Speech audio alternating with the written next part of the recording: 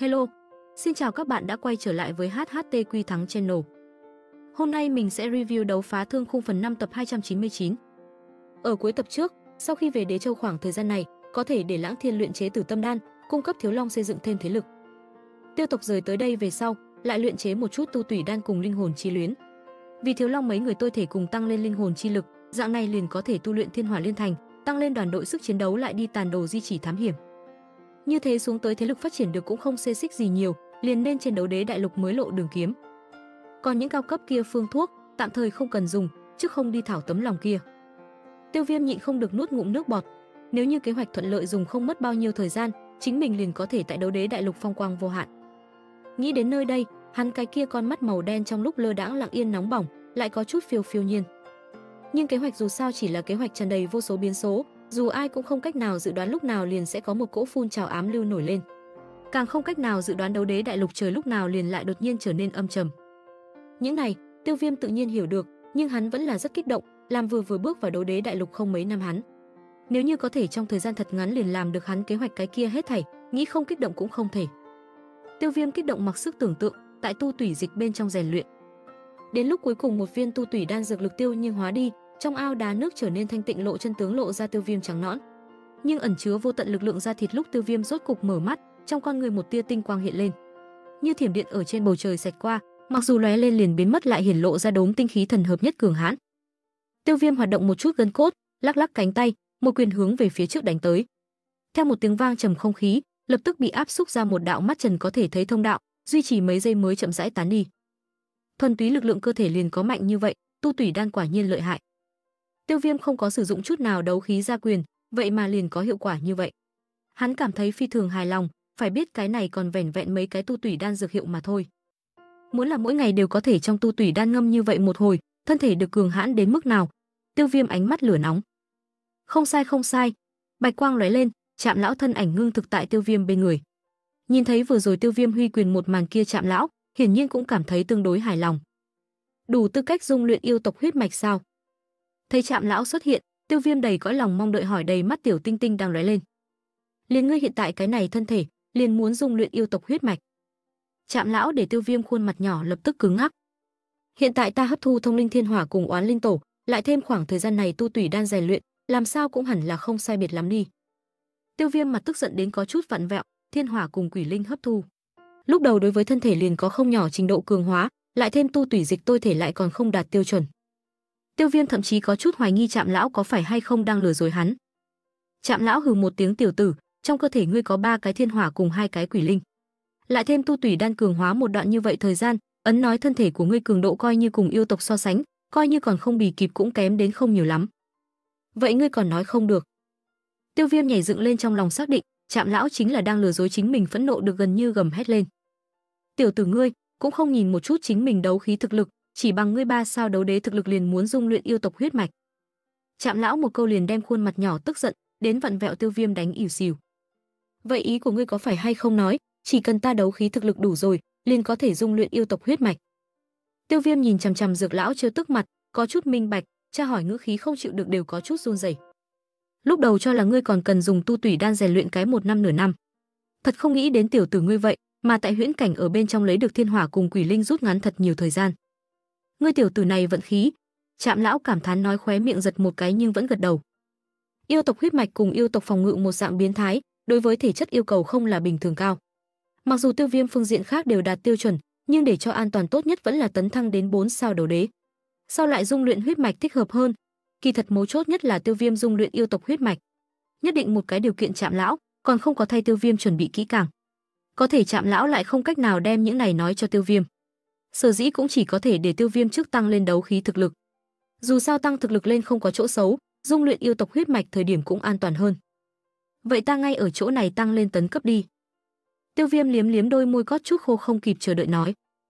Đi đi đi, về ngươi phòng luyện công đi đừng đem ta cái này tháp khi cột thu lôi.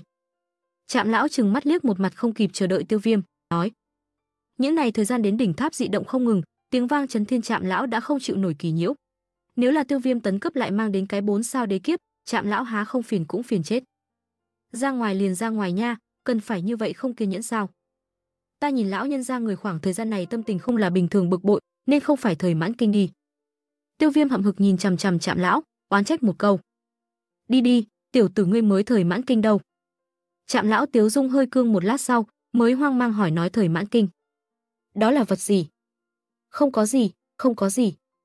Tiêu Viêm thần sắc trì trệ con ngươi bỗng nhiên co rụt lại, tranh thủ thời gian cười không ngừng khoát tay nói: "Nếu như bị Trạm lão biết thời mãn kinh là cái gì, không bị Trạm lão đánh thành đầu lợn mới là lạ." May mắn chỉ cần Tiêu Viêm không nói toàn đấu đế đại lục, cũng sẽ không có người biết mấy chữ này hàm nghĩa. Phải biết Tiêu Viêm linh hồn vốn chính là từ địa cầu xuyên qua tới. Đúng rồi Trạm lão, công pháp tầng bên trong còn có hai đạo ánh sáng trụ không có mở ra, bên trong đến cùng là cái gì đấu kỹ? Tiêu Viêm lập tức rời đi chủ đề, ánh mắt có chút trốn tránh không chừng. Tiểu tử này ánh mắt trốn tránh nói chuyện kéo đông kéo tây, khẳng định có cổ quái. Trạm lão chăm chú nhìn Tiêu Viêm nửa ngày về sau, nhưng lại nhìn không ra đến tục cùng có gì đó cổ quái, mới lắc đầu tức giận nói ra ngươi đi lấy ra chẳng phải sẽ biết. Bất quá chỉ có thể cầm bên phải một cái kia, bên trái cái kia ngươi hiện tại cầm cũng vô dụng. Kỳ thật, lúc đầu ngươi ngay cả bên phải cái kia đều cầm không được, nếu không phải xem ở huyết linh quyết cùng ngươi được hai cái quỷ linh phân thượng. Trạm lão lại bổ sung một câu, ngữ khí bình thản được không có chút nào ba động, trừ cuối cùng cái kia âm thanh. Vì cái gì nói như vậy? Đấu kỹ kia có phải hay không rất cao cấp cái chủng loại kia? Tiêu Viêm không hiểu vội vàng truy vấn, trong con người tràn đầy không giảng hòa mơ hồ kích động. Vẫn là xem ở huyết linh quyết cùng hai cái quỷ linh phân thượng. Hẳn là ở trong đó đấu kỹ rất cao cấp, muốn không thế nào yêu cầu cao như vậy. Huyết linh quyết thế nhưng là chuẩn thánh giai. Ta cũng không biết cao cấp không cao cấp, ngay cả là cái gì cấp bậc ta cũng không biết ngươi nói là cái gì cấp bậc liền là cái gì cấp bậc đi. Dù sao cái này đấu kỹ yêu cầu tương đối hà khắc, mà lại là nhìn nhân phẩm dùng đến tốt đâu uy lực tự nhiên mạnh. Dùng không tốt cũng liền như thế, nhưng mà làm sao đều so ngươi cái kia cải tạo sau Hoàng Tuyển Thiên nộ tốt. Trạm lão cười như không cười nhìn qua Tiêu Viêm nói: "Đây coi là lời gì?" Giống như không nói. Tiêu Viêm suy nghĩ nửa ngày cũng chỉ hiểu rõ đồng dạng. Đó chính là cái này đấu kỹ có thể là linh hồn đấu kỹ, hơn nữa còn là loại kia so huyết linh quyết còn huyền đấu kỹ. Nếu không làm sao sẽ cùng huyết linh quyết cùng quỷ linh có quan hệ đâu? Mà lại chạm lão còn lấy nó cùng Hoàng Tuyền Thiên nộ so. Cầu ngươi lão liền đừng thừa nước đục thả câu, nói cho ta đến cùng là dạng gì đấu kỹ đi. Đạt được đấu kỹ vốn là kiện rất vui vẻ sự tình, có thể bị chạm lão lời nói này làm cho trong lòng bất ổn, Tiêu Viêm trong lòng có chút cấp hống hống. Chờ ngươi chừng nào, thì nói cho ta cái gì là thời mãn kinh ta liền nói cho ngươi biết. chạm lão ăn miếng trả miếng, không có ý định cứ như vậy bỏ qua Tiêu Viêm nói sang chuyện khác. chạm lão, ngươi sẽ không là khi thật sao? Nhìn chạm lão nghiêm túc khuôn mặt, Tiêu Viêm có chút hối hận mới vừa nói chạm lão thời mãn kinh. Ai cùng tiểu tử ngươi nói đùa? Chạm lão nhìn xem Tiêu Viêm biểu lộ, càng phát ra tin tưởng cái kia thời mãn kinh tuyệt đối không phải cái gì tốt lời nói. Tiêu Viêm xem xét chạm lão quả thật nghiêm túc, liên tục không ngừng cười làm lành nói: Chạm lão, chạm lão ngài giảm nhiệt kỳ thật đâu, là ngài hiểu lầm tiểu tử ta. Cái kia thời mãn kinh đâu không phải cái gì nói xấu, là chỉ ngài thân thể đổi mới, tỏa sáng đổi mới hoàn toàn." Sau đó thấy chạm lão một mặt hoài nghi biểu lộ, Tiêu Viêm nắm tay chặt chẽ nắm cùng một chỗ, ẩn ẩn có chút khẩn trương tiếp lấy nói ra: "Ngài một tỏa sáng đổi mới hoàn toàn đâu, thân thể sức sống liền tràn đầy sức sống một tràn đầy đâu." thay thế liền sẽ tăng nhanh tựa như một năm một năm thay đổi đồng dạng, sở dĩ gọi thời mãn kinh đây là tán ngày càng sống càng trẻ đâu. Trạm lão dùng cái mũi hừ một tiếng, cái gọi là thiên xuyên vạn xuyên nịnh nọt không xuôi. Trạm lão bị tiêu viêm như thế vỗ, trong lòng nhất thời hơi dễ chịu một điểm, nhưng nói đến tin tưởng, có hai thành cũng không tệ rồi. Tiểu tử ngươi, thậm chí ngay cả ngài cái này hai chữ đều đã vận dụng, bình thường cũng không có gặp ngươi như thế tôn lão, thấy thế nào cũng không quá có thể tin. Được rồi, lần này liền không so đo với ngươi. Trạm lão hất lên ống tay áo xoay người rời đi, khóe miệng lại đã nổi lên một tia không dễ dàng phát giác mỉm cười. "Này này, Trạm lão, ngươi còn không có nói cho ta vì cái gì bên trái trong cột sáng không thể cầm đâu?" Tiêu Viêm thấy Trạm lão xoay người rời đi, vội vàng hô hỏi. "Ngươi hiện tại cầm cũng không dùng đến, chỉ có thể nhìn, lại không thể dùng, ngươi không chê biệt khuất." Trạm lão thanh âm xa xa truyền đến, dần dần đi dần dần không, lưu lại vô cùng ngạc nhiên Tiêu Viêm. Cầm cũng không dùng đến có ý tứ gì, hẳn là nói cái này đấu kỹ phẩm giai rất cao, vẫn là phải cầu cao đến quá đáng. Tiêu Viêm trong lòng âm thầm suy đoán nói. Khẳng định là như thế này, Tiêu Viêm trong lòng mừng rỡ, thẳng đến công pháp tầng mà đi. Công pháp tầng bên trong hai đạo ánh sáng trụ quang mang bắn ra bốn phía, lộ ra vô hạn dụ hoặc. Tiêu Viêm nuốt nước bọt, khóe miệng hung hăng co quắp nửa ngày, mới đưa nhìn về phía bên trái cột sáng ánh mắt miễn cưỡng kéo lại. Cự tuyệt dụ hoặc liền hướng ven đường hoa dại không cần hái một dạng thống khổ. Tiêu Viêm cắn răng nói nói được rồi, bách điểu tại rừng không bằng một chim. Nơi tay xem trước, một chút bên phải cột sáng đến cùng là cái gì đấu kỹ, lại bị chạm lão nói đến như vậy thần hồ. Tỉnh táo lại, Tiêu Viêm duỗi ra hơi hơi tay run rẩy tiến vào trong cột sáng. Chỉ thấy một trận quang mang lấp lóe, Tiêu Viêm trên tay nhiều một bản màu lam nhạt sách. Sách không dày, lại giả vờ phiếu được phi thường tinh mỹ, nhạt nhạt màu lam sương mù trên lưu động, tựa như ngọn lửa màu xanh lam đang thiêu đốt, khiến linh hồn của con người có một loại nhịn không được muốn cung bái run rẩy, xem xét liền không phải là phàm vật. Đây là Tiêu Viêm kích động nhìn kỹ màu lam sách, bìa thương khung hàn ba cái thiếp vàng chữ lớn rồng bay phượng múa, hiển lộ rõ ràng ra một cỗ thiên hạ ngoài ta còn ai bá khí. Tiêu Viêm mừng rỡ lật ra tờ thứ nhất, mấy hàng chữ lớn vọt vào mí mắt. Thương khung hàn linh hồn đấu kỹ, lấy linh hồn chi lực ngưng thiên địa năng lượng diệt hết thảy ngăn thế chi vật. Nếu có quỷ linh trợ uy, thì uy lực tăng gấp bội. Bất quá giải rác mấy chục chữ rơi vào Tiêu Viêm, nhưng trong lòng như sấm sét giữa trời quang giống như rung động. Quả như Tiêu Viêm đoán thật đúng là linh hồn đấu kỹ, đồng thời có quỷ linh còn nhưng uy lực tăng gấp bội. Đây quả thực là vì Tiêu Viêm đo thân mà làm Tiêu Viêm con mắt màu đen lúc này đã trở nên hỏa hồng hỏa hồng. Phải biết linh hồn đấu kỹ, nhưng so sánh cái khác đấu kỹ hiếm có được nhiều uy lực cũng phải cao hơn không ít. Đây cũng là vì cái gì việc đời bên trên cơ hồ không có thế giai trở lên, linh hồn đấu kỹ xuất hiện nguyên nhân. Đột nhiên, Tiêu Viêm đem sách cầm lên vội vàng lật vài tờ, từng chữ từng chữ nhìn hồi lâu miệng xẹp lại xẹp hận hận nói ra. Nãi nãi, Trạm lão thật đúng là không có lừa ta, cái này đấu kỹ thật không có liên quan tới phẩm giai nói rõ, làm sao có thể chứ? Một bộ đấu kỹ làm sao có thể không có phẩm giai đánh giá đâu? Không có khả năng, khẳng định giấu ở trong sách cái kia một tờ. Tiêu Viêm không tin tà, ôm bản này Thương Khung Hàn vội vàng đọc nhỏ. Nói là mảnh đọc, kỳ thật cũng vẻn vẹn xem xong toàn bộ đấu kỹ mà thôi. Hắn chỉ là nghĩ điều tra thêm trong sách đến tột cùng, có không có liên quan tới cái này đấu kỹ phẩm giai nói rõ. Khiến hắn tức nuối là, cả quyển sách còn thật không có dù là một chữ là liên quan tới đấu kỹ phẩm giai nói rõ. Nhưng mặc dù như thế, hắn tại xem quá trình bên trong vẫn là ít nhiều hiểu rõ một chút cái này đấu kỹ nội dung. Mà lại càng hiểu rõ càng kinh ngạc, càng hiểu rõ càng cảm thấy này đấu kỹ rất huyền. Bởi vì nó, cùng bình thường đấu kỹ hoàn toàn không giống uy lực của nó, cùng phải chăng chuyên cần khổ luyện không quan hệ. Chỉ cùng linh hồn chi lực cường độ, quỷ linh chất lượng có quan hệ nhất huyền. Là toàn bộ tu luyện đấu kỹ dựa vào một cái ngộ chữ, có thể lĩnh ngộ bao nhiêu uy lực chính là bao nhiêu. Tiêu Viêm đầu lông mày chớp chớp, ẩn ẩn hoang mang trên mặt hiện ra một vệt không thể làm gì. Ta nên nói cái này đấu kỹ thần kỳ đâu, hay là nên nói sáng tạo nó người họ Mông đâu? Ta còn cho tới bây giờ chưa nghe nói qua dạng này phương pháp tu luyện, nên không phải là giả chứ. Bất quá, liền ta hiện tại thô sơ giản lược lĩnh ngộ tình huống đến xem. Bằng vào ta hiện tại đế cảnh đỉnh phong linh hồn chi lực, tăng thêm hai cái bài vị không thấp quỷ linh, có thể phát huy uy lực hoàn toàn chính xác còn mạnh hơn Hoàng Tuyền Thiên Nộ bên trên không ít. Như thế xem ra, này đấu kỹ lại hình như thật sự là có chuyện như vậy. Tiêu Viêm khép lại đấu kỹ, tự lẩm bẩm, cảm giác một cái đầu có hai to bằng cái. Vẫn là đi hỏi một chút chạm lão đi. Có thể Tiêu Viêm quay đầu vừa nghĩ tới thời mãn kinh ba chữ liền lập tức bỏ đi ý nghĩ này. Nếu như chạm lão chịu nói đã sớm nói với mình, đã hắn không chịu nói chính mình cần gì phải đi tự tìm phiền toái đâu. Có thể so sánh hiện tại dùng mạnh trước hết dùng đến, tu luyện tổng sẽ biết là chuyện gì xảy ra. Tiêu Viêm hơi quay đầu tự an ủi mình, nhưng trong lòng thề về sau cũng không dám lại dùng linh tinh trên địa cầu chuyên môn thuật ngữ. Tiến đến lâu như vậy, nên đi ra. Trong tháp đã không có việc gì, Tiêu Viêm lo lắng lấy Tiêu phủ tình huống cùng Trạm lão cáo biệt về sau. Lại sờ lên long ý đầu thân hình lóe lên xuất hiện tại Tiêu phủ bên trong. Tiêu phủ vẫn là hoàn toàn yên tĩnh, hai bên nước suối cuồn cuộn, phồn hoa như gấm, để cái này mỹ lệ có thêm một sợi linh động. Xem ra tất cả mọi người còn chưa có trở lại. Tiêu Viêm dọc theo từ Tuyết Ngọc lát thành đường nhỏ đi tới. Xem xét hai bên mỹ cảnh khổ tu về sau có cảnh đẹp cảnh đẹp ý vui, cũng vẫn có thể xem là một loại buông lòng. Vượt qua cầu nhỏ, chuyển qua hành lang, Tiêu Viêm ánh mắt rơi vào cách đó không xa một cái tiểu đình bên trên. Tiểu đình rất đẹp, hơi nhếch lên đỉnh sừng còn mang theo mấy cái tinh xảo linh đang, theo gió vang lên va chạm vào nhau âm thanh rất là thanh thúy. Nhưng Tiêu Viêm ánh mắt cũng không có trên tiểu đình dừng lại, mà là nhìn chăm chú lên tiểu đình bên trong một thân ảnh. Thân ảnh có vẻ hơi tiêu điều, mang theo tuế nguyệt lưu lại thật sâu vết tích. Nhưng cái eo lại thẳng tắp đang dựa vào lan can thưởng thức trong ao cá vàng, chính là Tiêu Giao. Tiên tổ Tiêu Viêm chào hỏi đi tiến đến. Nghe được Tiêu Viêm thanh âm, Tiêu Giao cười quay đầu, đột nhiên xòe bàn tay ra, hư không nhấn một cái. Giữa không trung, một cái đấu khí ngưng tụ thành trường ấn cấp tốc phóng đại, phong tỏa Tiêu Viêm tất cả đường lui.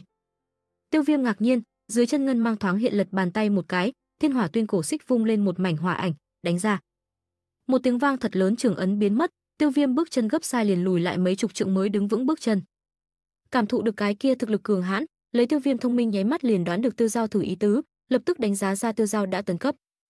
Chúc mừng tiên tổ tấn cấp 5 sao đầu đế. Tiêu Viêm thu thức cười vừa chắp tay chúc mừng nói: "Hảo tiểu tử, năm sao đầu đế thực lực cũng chỉ có thể để ngươi lui hơn 10 trượng mà thôi." Tiêu Giao một mặt kinh ngạc mặc dù cũng không dùng hết toàn lực, nhưng năm sao đấu đế tiện tay một trưởng, cũng không phải bình thường ba sao đấu đế có thể tùy tiện đón lấy. Không hổ là ta tiêu tộc vài vạn năm khó gặp thiên tài, quả nhiên không tầm thường, so năm đó ta có thể mạnh hơn nhiều. Tiêu Giao nhìn qua Tiêu Viêm, càng xem càng thích, nhịn không được cất tiếng cười to. Tiên tổ thủ hạ lưu tình, tiểu tử may mắn mà thôi.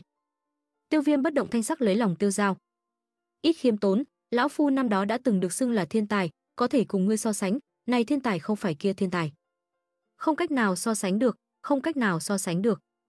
Tiêu Giao ngoài miệng dù nói như vậy, lại vui vẻ đến ngay cả nếp nhăn đều tan ra không ít. Tên tổ đột phá năm sao, có thể hay không lưu lại cái gì tổn thương? Tiêu Viêm lo lắng hỏi Tiêu Giao. Ngươi nhìn ta cái này sinh long hoạt hổ bộ dáng, giống như là có cái gì tổn thương dáng vẻ sao?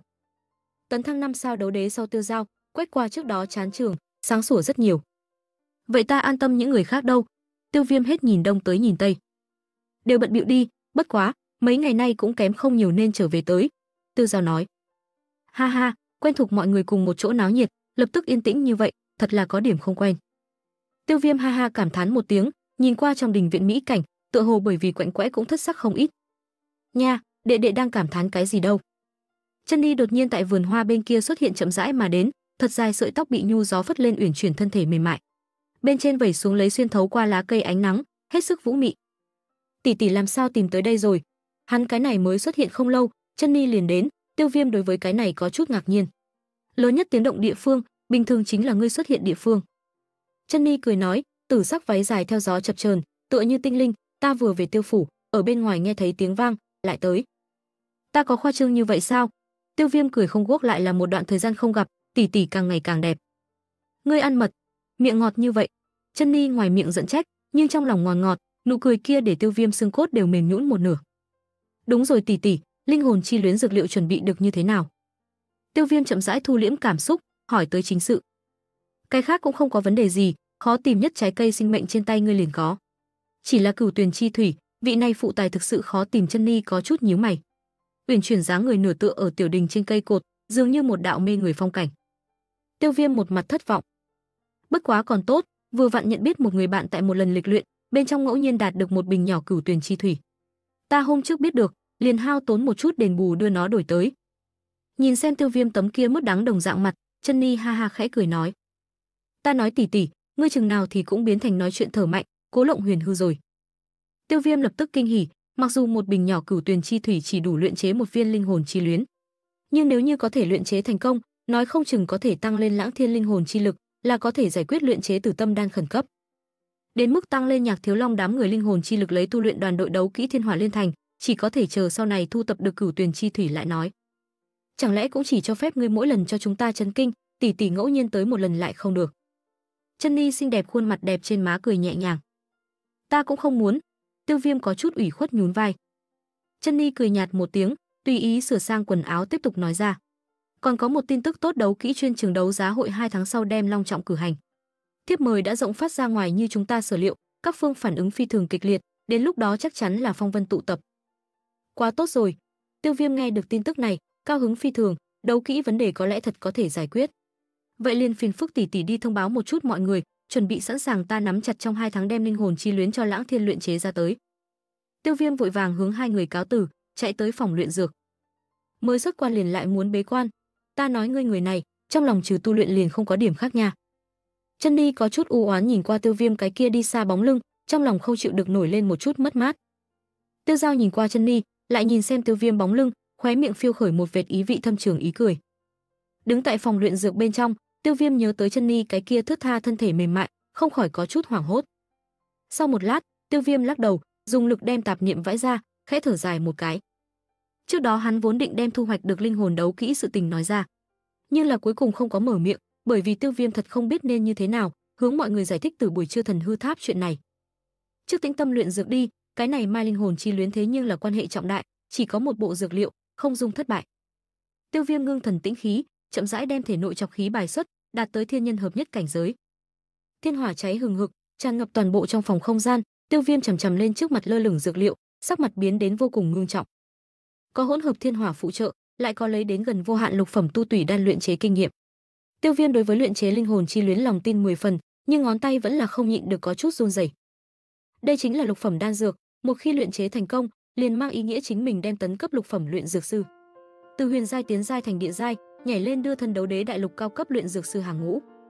Vừa nghĩ tới đây, Tiêu Viêm cái kia vốn là không có chút rung động nào tâm vẫn là nổi lên gợn sóng. Liên tiếp hít thở sâu ba lần, Tiêu Viêm mới khôi phục bình tĩnh, đem trạng thái điều chỉnh đến tốt nhất. Theo linh hồn chi lực lan tràn thiên hỏa càng thêm hung mãnh lên. Bên trong phòng chế thuốc nhiệt độ cao, đến để lưu động không khí đều trở nên có chút vặn vẹo gần như mộng ảo. Tiêu Viêm hai tay liên tục điểm, dược liệu như nước chảy mây trôi giống như bị ném bỏ vào dược đỉnh, sau đó lại bị tinh luyện mà ra. Hết thảy cũng rất thuận lợi, mùi thuốc nồng nặc thuận theo đại môn khe hở chậm rãi chảy ra. Phiêu tán tại tiêu phủ bên trong, vì bận rộn đám người mang đến một tia khứu giác hưởng thụ. Gần hai tháng thoáng một cái đã qua, đám người đã sớm tụ tập một đường, Lãng Thiên cùng Nam Nhĩ Minh cũng đình chỉ ma hạch thôn phệ, chạy tới. Mọi người hỉ khí dương dương thảo luận dưới mắt đấu đế đại lục nhất, là oanh động sự tình đấu kỹ chuyên trường đấu giá hội lộ ra cao hứng bừng bừng. Chỉ là nghiêng mắt nhìn qua phòng luyện dược ánh mắt nhưng lại có một vẻ lo âu. Cách đấu kỹ chuyên trường đấu giá hội chỉ có hai ngày thời gian, mà Tiêu Viêm lại y nguyên không có xuất quan. Long ý gấp đến độ trong phòng vừa đi vừa về bất an đi dạo, tản bộ, trong con người lại toát ra nồng đậm khát vọng. Sớm tại Tiêu Viêm luyện dược trước đó, chuyên môn tiến tháp đi đã phân phó Long ý. Nếu là nhìn thấy phòng luyện dược có dị động, liền ra hấp thu lục phẩm đan lôi. Long ý vừa nghe nói là lục phẩm đan lôi, sớm liền từ trong tháp ra trông mong chờ lấy. Thế nhưng là thẳng đến hiện tại, phòng luyện dược vẫn là trước sau như một yên tĩnh, chỉ là mùi thuốc càng đậm.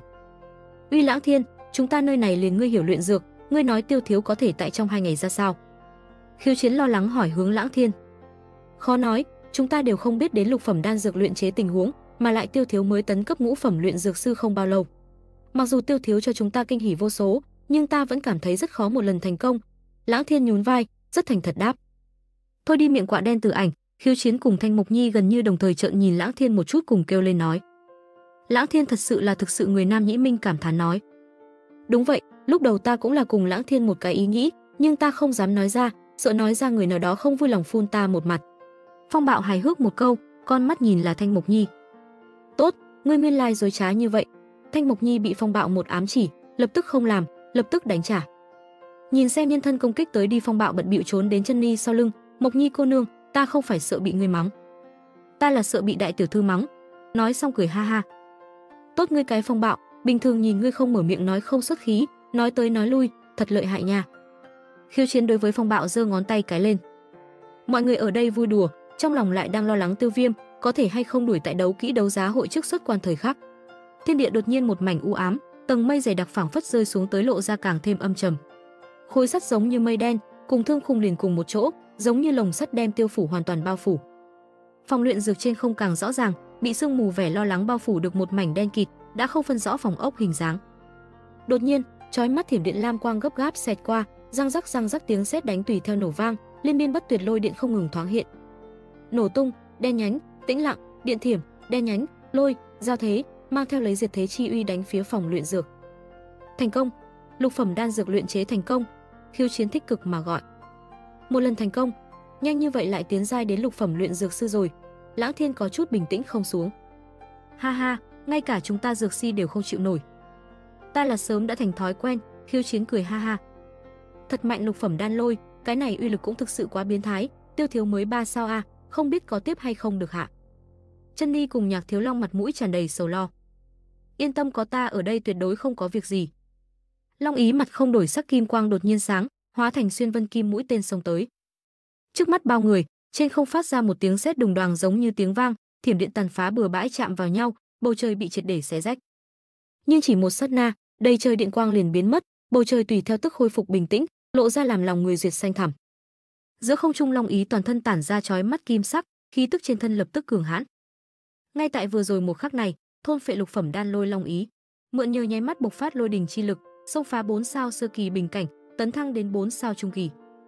Ai cũng không nghĩ tới, hấp thu một lần đan lôi, long ý vậy mà liền tấn cấp. Đan lôi mỗi lần bị long ý hấp thu, nhưng thấy Tiêu Viêm thân hình phóng lên tận trời, cản lại muốn chạy trốn lục phẩm đan dược về sau, tiêu vãi xuống. Nhìn về phía long ý trong con ngươi tràn đầy nồng đậm vui sướng.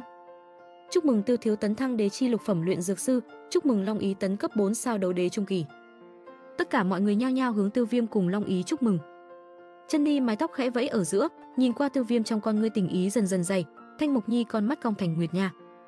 Đây chính là Song Hỉ Lâm môn. Tiêu Giao vuốt vuốt tròm râu, liên tục gật đầu. Ta còn tưởng rằng ta tấn cấp rất nhanh, có thể cùng Tiêu Thiếu cùng Long Ý so sánh, không bằng tìm khối đậu hũ đâm chết quên đi. Khiêu Chiến liều mạng lắc đầu, tự thân thở không bằng. Đi, chúng ta đi qua đi. Tiêu Viêm vỗ vỗ Long Ý bả vai, tràn đầy vui mừng. Tiêu Viêm cùng Long Ý bước chân vừa mới phóng ra, Lãng Thiên liền tiến lên đón, hai mắt nhìn chằm chằm Tiêu Viêm tay liền cũng không rời đi nữa. Nhìn ngươi cái kia khỉ gấp dạng, Tiêu Viêm buồn cười, đem trên tay đan dược đưa tới. Linh hồn chi luyến tương tự một đầu ngửa mặt lên trời gào thét tiểu hổ. Màu trắng bóng loáng đan thể bên trên quanh quẩn lấy một lớp sương khói mỏng manh. Sương mù đang lưu động biến ảo, ẩn ẩn có thể nghe khiến người lạnh mình tiếng giống giận dữ. Để đám người nhao nhao nhịp tim không thôi, thật không hổ là lục phẩm đan dược. Đưa cho ngươi, nếu như vận khí tốt, luyện chế ngũ phẩm đan dược cũng không cần tấn thăng đến 4 sao đỉnh phong, 4 sao trung kỳ hẳn là là được rồi." Tiêu Viêm nói. Linh hồn chi luyến có thể chữa trị linh hồn cũ mới thương tích, lần thứ nhất phục dụng có cực nhỏ tỷ lệ biên độ lớn tăng lên linh hồn chi lực. Lãng Thiên tiếp nhận linh hồn chi luyến, thì thào lẩm bẩm đan dược công hiệu, hô hấp trở nên dồn dập lên. Cứ việc trước đó, liền biết Tiêu Viêm trên tay có này cực phẩm phương thuốc, nhưng tận mắt nhìn đến thành phẩm đan dược, mà lại lập tức liền có thể phục dụng Lãng Thiên, cũng không còn cách nào bảo trì dĩ vãng chấn định, con mắt lại có chút ướt át. Phải biết, Lãng Thiên linh hồn chi lực bởi vì đan ma bộ tộc đặc thù thiên phú nguyên nhân. Bây giờ đã là đế cảnh trung kỳ, nếu là có thể gặp được cái kia cực nhỏ tỷ lệ, linh hồn chi lực có thể biên độ lớn tăng lên. Tối thiểu nhất cũng có thể đạt tới đế cảnh trung kỳ thậm chí là đỉnh phong. Cái này, chỉ là ngẫm lại cũng làm người ta kích động không thôi. Nhìn xem Lãng Thiên cái kia hạnh phúc sắp ngất đi dáng vẻ, Tiêu Viêm lại quay đầu nhìn một chút đỏ mắt đám người hơi có tiếc nuối nói ra. Đáng tiếc, có một loại phụ tài chỉ đủ một bộ, bằng không thì còn có thể luyện chế nhiều mấy cái, có lẽ chúng ta liền có thể tu luyện Thiên Hỏa Liên Thành. Không có việc gì, chúng ta chậm rãi thu thập chính là. Chân Ni an ủi Tiêu Viêm, Long Ý cũng nhẹ lôi kéo Tiêu Viêm ống tay áo, mắt to chớp chớp, ý tứ để Tiêu Viêm đừng quá lo lắng. Tiêu Viêm bị Long Ý chọc cười, nhẹ nhàng cười một tiếng, nói ra các ngươi nhìn Long Ý, sợ ta tâm tình không tốt. Ha ha, yên tâm đi Long Ý, lục phẩm đan dược có thể một lần luyện chế thành công, ta đã rất thỏa mãn tâm tình quá tốt rồi đâu. Sau đó chuyển hướng chân Ni hỏi nói, hiện tại đấu giá hội bên kia thế nào? Chúng ta lần này chuẩn bị đấu kỹ chuyên trường đấu giá hội, tại đấu đế đại lục thế nhưng là nhấc lên một trận điên cuồng dậy sóng. Chẳng những các thế lực lớn nhao nhao đuổi đến, thậm chí ngay cả không ít lâu dài ẩn cư thế lực cũng kinh động đến. Còn chưa tới đấu giá thời gian, trong thành đã là người đông nghìn nghịt, chen lấn chật như nêm cối, vượt xa suy đoán của chúng ta. Thương minh không thể không từ toàn bộ đại lục điều nhân thủ qua đến giúp đỡ, đồng thời còn xây dựng thêm phòng đấu giá. Chân Ni vì Tiêu Viêm giới thiệu nói. Tiêu Viêm há to miệng, nằm mơ đều không nghĩ tới, bởi vì chính mình một cái nhu cầu, làm cho đấu đế đại lục dư luận xôn xao. Quá tốt rồi. Hai ngày sau, trừ Lãng Thiên, mọi người cùng nhau đi tham gia. Tiêu Viêm đứng dậy nói. Hai ngày thời gian trôi qua đặc biệt nhanh. Sáng sớm, Tiêu Viêm một đoàn người liền trùng trùng điệp điệp bay về phía phòng đấu giá, dọc theo đường thấy đám người âm thầm kinh hãi. Một đi ngang qua đến, chỉ nhìn thấy lít nha lít nhít đám người bế tắc không chung cùng dưới mặt đất tất cả khe hở. Liền ngay cả trên nóc nhà đều đứng đầy người, một mảnh đen kịt không nhìn thấy cuối cùng. Hai bên cửa hàng cũng thừa cơ gào to lớn bán phá giá, tiếng gào liên tiếp hỗn tạp cùng một chỗ thanh âm để người đầu óc quay cuồng. Cứ việc có không ít hộ vệ duy trì trật tự, nhưng tràng diện vẫn là vô cùng hỗn loạn, ẩn ẩn có sai lầm khống xu thế. Nơi xa có không ít người tới lúc gấp rút nhanh bay tới, trên mặt lo lắng hiển lộ hoàn toàn, xem ra là tiếp viện hộ vệ. Ta dựa vào, đời này còn chưa thấy qua nhiều người như vậy, tràng diện này quá khoa trương. Khiêu chiến le lưỡi, trực giác được ra đầu tê dại một hồi. Cái này có thể làm sao vượt qua? Con đường phía trước toàn nhét, không chỗ thông hành, phong bạo mày nhíu lại được so lão thái bà còn lợi hại hơn. Đi theo ta. Chân Ni mỉm cười, hướng về bốn phía cảnh giới hộ vệ làm thủ thế. Tại thương minh địa bàn bên trên, chân Ni vẫn có một ít đặc quyền. Hộ vệ lập tức vì chân Ni phân ra một đầu hẹp khe hở, để tiêu viêm một đoàn người đi trước. Mặc dù như thế, tất cả mọi người vẫn là gạt ra một thân mồ hôi bẩn, có thể thấy được hỗn loạn đến cỡ nào mức độ khó mà tin nổi. Khi mọi người bước chân đạp lên thông hướng phòng đấu giá đầu kia đường cái lúc, Tiêu Viêm đột nhiên nhớ ra cái gì đó, quay người hỏi chân đi tài chính mang đủ chưa. Tiêu Viêm tận mắt thấy như thế nóng nảy tràng diện, biết lần này khẳng định sẽ xuất hiện không ít cao cấp đấu kỹ, sở dĩ lo lắng lên tài chính có đủ hay không tới. Ha ha, ngươi đây liền không cần lo lắng trừ phi chỉ định muốn lấy vật đổi vật, nếu không tuyệt không vấn đề. Chân đi mỉm cười nói. Tiêu Viêm lúc này mới yên lòng lại, theo dòng người, hướng về phía trước gạt ra hướng phòng đấu giá đi đến. Nhìn xem chung quanh, hoàn cảnh quen thuộc Tiêu Viêm có chút thổn thức. Mới thời gian mấy năm chính mình liền từ một cái không xu dính túi tiểu tử nghèo, biến thành hôm nay dạng này tiến phòng đấu giá không lo không đủ tiền. Người giàu có thật giống là giống như nằm mơ. Tiêu Thiếu, còn nhớ rõ sao? Năm đó ngươi tới đấu giá đan dược còn thần bí hề hề đâu, bây giờ, chậc chậc, lắc mình biến hóa, thành đấu đế đại lục nhân vật phong vân. Chân đi trêu ghẹo Tiêu Viêm nói, trong giọng nói tràn đầy nhìn đúng người ngọt ngào. Đúng vậy, may mắn mà có Thiếu Long cùng tỷ tỷ, bằng không cũng không có ta Tiêu Viêm hôm nay. Tiêu Viêm cười cười đáp lại. Ha ha, nhìn ngươi nói, ta to bằng có công lao sao? Chân Ni hàm ẩn đắc ý cười nói. Đương nhiên là có, không có ngươi cùng Thiếu Long, nào có thanh linh dịch bốc lửa như vậy. Tiêu Viêm nghiêm túc trả lời. Cái kia, ngươi chuẩn bị báo đáp thế nào tỷ tỷ ta đâu? Chân Ni mắt ngậm xuân thủy, làn thu thủy đảo mắt, cùng Tiêu Viêm mở lên trò đùa. Cái này, giống như tỷ tỷ ngươi cái gì cũng không thiếu. Tiêu Viêm sao có thể không hiểu chân Ni ý tứ có thể hắn nào dám nói tiếp. Chỉ có thể hùa theo trả lời một câu, mặt sót một chút trở nên có chút ửng đỏ. Tiêu Viêm như thế một chi ta, mặt như vậy một ửng đỏ, chân Ni mặt cũng đi theo nhẹ nhàng một tia vết đỏ. Có chút không hiểu xấu hổ hàm răng khẽ cắn họ cảm giác môi đỏ rất là kiều mị. Tiêu Thiếu, trong lòng ta ẩn ẩn có chút lo lắng. Nhạc Thiếu Long đột nhiên mở miệng, dùng đúng là truyền âm phương thức. Cái này khiến đám người rất không minh bạch, tham gia đấu giá hội lấy tiền đập đấu kỹ có cái gì tốt lo lắng. Thậm chí có chút hoang mang, cần phải thần bí như vậy sao? Chúng ta lần này dự định mua đấu kỹ số lượng rất rất lớn, lớn đến đủ để cho bất kỳ một thế lực nào đỏ mắt. Nhạc Thiếu Long ngừng lại một chút, tiếp tục nói cái gọi là thất phu vô tội, mang ngọc có tội. Mà lại chúng ta cái này bích càng là kinh người, vô luận là trên giá trị, vẫn là đối với gia tộc thế lực tăng lên bên trên, đều tuyệt đối sẽ để người điên cuồng. Cây mọc cao hơn rừng, gió tất thổi bật dễ. Đạo lý này ta tin tưởng mọi người đều rõ ràng. Huống chi hiện tại như mọi người thấy, tới tham gia cuộc bán đấu giá này thế lực nhiều, tuyệt đối vượt xa tưởng tượng của chúng ta. Trong đó không biết có bao nhiêu ẩn tàng thế lực, cũng không biết có bao nhiêu tàng long ngọa hổ hạng người. Ta cảm thấy, tại chúng ta cánh chim không gió trước đó, vẫn là tận lực đừng chọc phiền toái không cần thiết. Nhạc Thiếu Long lo lắng được phi thường có đạo lý, lần này đấu giá trước nay chưa từng có oanh động, vượt ra khỏi bất luận người nào tưởng tượng. Có thể âm điệu thấp liền tận lực âm điệu thấp một chút. Thanh Hạo Nhiên chậm rãi mở miệng, sắc mặt có chút ngưng trọng. Nói có lý, đại lượng đấu kỹ bị cùng một gian phòng chụp được, nếu là gây nên chúng thế lực thăm dò, hậu quả đem thiết tưởng không chịu nổi. Tiêu Viêm nghĩ đến nơi đây, trên lưng xuất mồ hôi lạnh cả người chân ni, có thể có biện pháp giải quyết cái vấn đề khó khăn này. Bây giờ chỉ có một cái biện pháp có thể giải quyết, chân ni trở nên bình tĩnh. Chúng ta chia ra ba đường, dạng này đã có thể tương hỗ chiếu ứng, lại có thể phân tán lực chú ý, mọi người thấy thế nào? Đích thật là trước mắt phương pháp tốt nhất, có thể trong thời gian ngắn ngủi như thế nghĩ ra phương pháp giải quyết, chân ni trí tuệ để Thanh Hạo Nhiên lớn thêm tán thưởng. Có một vấn đề, Tiêu Viêm ngẩng đầu, biểu lộ có chút bất đắc dĩ, như thế nào giải quyết ba gian khách quý phòng đâu? Nếu là ở ngoại vi trên chỗ ngồi lộ diện, càng sẽ khiến đám người hoài nghi, dù sao quan hệ giữa chúng ta sớm đã không phải cái gì bí mật. Cái này không là vấn đề, Tiêu thiếu xin yên tâm. Nhạc Thiếu Long trả lời Noa Tiêu thiếu có một gian lấy ma hoàng uy danh. Phòng đấu giá cũng khẳng định sẽ dự lưu một gian, đến mức một gian khác. Phòng đấu giá cho tới bây giờ đều sẽ vì lấy phòng ngừa vạn nhất cho mình lưu cái gian phòng, đại tiểu thư danh chính ngôn thuận đi vào. Không hổ là người trong nhà dễ làm sự tình, Phong Bạo cảm thán nói. Sau khi quyết định, Chân Ni dẫn dắt đám người phí đi sức chín châu hai hổ mới chen đến phòng đấu giá phía trước. Ngẩng đầu ở giữa Tiêu Viêm bị rung động thật sâu, cơ hồ không dám tin vào hai mắt của mình. Không phải đạt được Chân Ni xác nhận, Tiêu Viêm còn tưởng rằng đi nhầm địa phương. Đám người đứng yên mà trông, cũng thật lâu nói không ra lời. Phòng đấu giá trong thời gian thật ngắn dĩ nhiên xây dựng thêm. Chỉnh thể tú mỹ mà trang nhã trang nghiêm mà trang trọng, mà lại cực kỳ lớn, đảm áp dụng lớn diện tích rơi xuống đất thủy tinh hoa văn màu cửa sổ.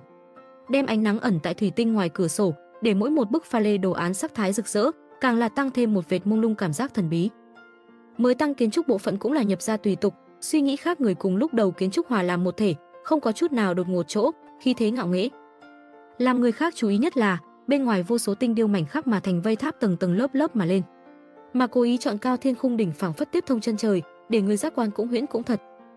Trong thời gian ngắn như vậy, dĩ nhiên có thể hoàn thành hùng vĩ như vậy công trình vĩ đại thật sự là kỳ tích. Hồi lâu sau, Tiêu Viêm mới thật dài hô thở ra một hơi. Thương Minh muốn mở một trận đấu kỹ chuyên trường đấu giá, hội tin tức thực sự quá mức oanh động. như không lập tức tiến hành xây dựng thêm, căn bản không đủ để ứng phó nhiều người như vậy. Chân Ni giải thích nói, trong giọng nói lộ ra nhàn nhạt, nhạt tự hào. Xác thực, cũng chỉ có thương minh dạng này nhất lưu thế lực mới có thể tại như thế gấp thời điểm hoàn thành thủ bút lớn như vậy. Cùng phòng đấu giá người bên ngoài âm thanh huyên náo hoàn toàn khác biệt, bên trong phòng đấu giá người cũng nhiều. Nhưng không ồn ào, phòng bán đấu giá hộ vệ sâm nghiêm, bố trí được ngay ngắn rõ ràng, vô số chỗ ngồi hiện lên hình khuyên vờn quanh mà lên. Thường cách một đoạn khoảng cách đều có chuyên môn dẫn đạo viên phụ trách, lộ ra có đầu không sợi thô, không một không tại hiện lộ rõ ràng thương minh thực lực cường đại. Dựa theo trước đó thương lượng kế hoạch chân ni vì một nhóm, Tiêu Viêm mang theo Nhạc Thiếu Long đám người, vì một nhóm Thanh Hạo Nhiên mang theo Thanh Mộc Nhi vì một nhóm, phân ba đường tiến khách quý phòng. Nằm nghiêng tại khách quý phòng trên ghế bành, ực mạnh mấy ngụm thu từ mây mù chi đỉnh lông nhọn, Tiêu Viêm mới thở thở ra một hơi. Trước đó người kia lưu chân lấn để người hô hấp đều trở nên có chút đục ngầu, rất không thư sướng. Có chút nghỉ ngơi một chút, Cách đấu giá bắt đầu còn có một số thời gian, Tiêu Viêm xuyên thấu qua rơi xuống đất pha lê, đánh giá phía dưới phòng bán đấu giá. Chính giữa cẩm thạch đài bốn phía treo thêu viền vàng màu đỏ lông nhung thiên nga, chập trùng cảm nhận tại ánh đèn chiếu xuống phủ lên da trắng lệ quý khí. Mặt sau treo một mặt to lớn hình chiếu thủy tinh, đem vì tất cả tham gia đập khách quý nhóm hiện ra vật đấu giá toàn cảnh. Từng dãy chỗ ngồi cũng làm nền đến tự dị vực màu vàng nhạt bông tuyết nhung. Tại cạnh góc chỗ còn cố ý may đạo màu xanh vỏ cau ngân tuyến, ưu nhã mà không mất đi cao quý. Thương minh không hổ là thương minh, mỗi một chỗ chi tiết đều đường nét độc đáo, suy tính được phi thường chu đáo nhìn như tiện tay nhặt ra, nhưng lại phi thường đúng chỗ. Tiêu Viêm không khỏi chực chực tán thưởng. Phòng đấu giá trong đại sảnh sớm đã dựa theo mặt bàn bảng số ngồi đầy từ các nơi chạy tới thế lực, bởi vì ánh đèn mờ tối mang một ít thần bí tử sắc. Thậm chí tia sáng cách một khoảng cách đều sẽ có rất nhỏ vặn vẹo, sở dĩ lẫn nhau ở giữa thấy không rõ đối phương hình dạng. Rất tốt tại phủ lên không khí hiện trường đồng thời, lại bảo vệ cạnh tranh phương tư ẩn. Tiêu Viêm đánh giá người trong đại sảnh, người trong đại sảnh đều tại đảo mắt đánh giá hội trường. Có lẽ là thương minh đại thủ bút kinh hãi tất cả quý khách, sở dĩ một điểm huyên thanh âm huyên náo đều không có. Ngược lại mười phần yên tĩnh, an tĩnh có chút kiềm chế, tất cả mọi người đang khẩn trương chờ mong. Xem ra thương minh vì lần này, đấu kỹ chuyên trường đấu giá thật đúng là hạ nặng bản, lấy thương minh lực hiệu triệu, lần hội đấu giá này nhất định sẽ phi thường đặc sắc. Nhạc Thiếu Long nhịn không được chật chật lưỡi. Cứ việc Nhạc Thiếu Long đã thoát ly thương minh, như là tại phòng đấu giá làm nhiều năm như vậy. Đối với phòng đấu giá tổng có một phần nhà cảm giác, bây giờ nhìn thấy đây hết thảy, trong con người lửa nóng so bất luận kẻ nào đều rất. Ngay tại mấy người nói chuyện phiếm ở giữa, pha lê bên trên sáng lên quang ảnh gợn sóng, ánh sáng nhu hòa thẩm thấu tiến đến, đấu giá bắt đầu. Đám người ngẩng đầu nhìn lại, hán trên bạch ngọc đài ánh đèn bao phủ xuống. Chiếu lên giữa đài giống như ban ngày, cùng chung quanh u ám tạo thành mãnh liệt so sánh, phòng bán đấu giá bên trong ánh mắt mọi người đều tập trung đến trên đài vị kia chậm rãi đi tới đấu giá sư trên thân. Vẫn là vị kia thủ tịch đấu giá sư, một đôi mắt lập lòe có thần thái, sóng mũi thật cao hạ mím chặt bờ môi lộ ra đặc hữu khôn khéo. hắn thân mang một kiện làm công tinh tế bạch bào, phía trên điểm xuyết lấy màu đỏ tơ lụa sức hoa, lộ ra phá lệ tinh thần phấn chấn. Đấu giá sư một cái ưu nhã hào phóng lễ tiết họ cúi đầu về sau, ngẩng đầu khẽ mở miệng, âm thanh vang dội lập tức vang vọng toàn trường. Các vị giai khách không chối từ vất vả, từ đại lục các nơi đuổi tới tham gia giới thứ nhất đấu kỹ chuyên trường đấu giá hội. Ta ở đây xin đại biểu thương minh, đại biểu đại thương phòng đấu giá, hướng mọi người biểu thị nhiệt liệt hoan nghênh. Nghe phía dưới tiếng vỗ tay như sấm, đấu giá sư phi thường hài lòng, bất động thanh sắc khẽ gật đầu một cái.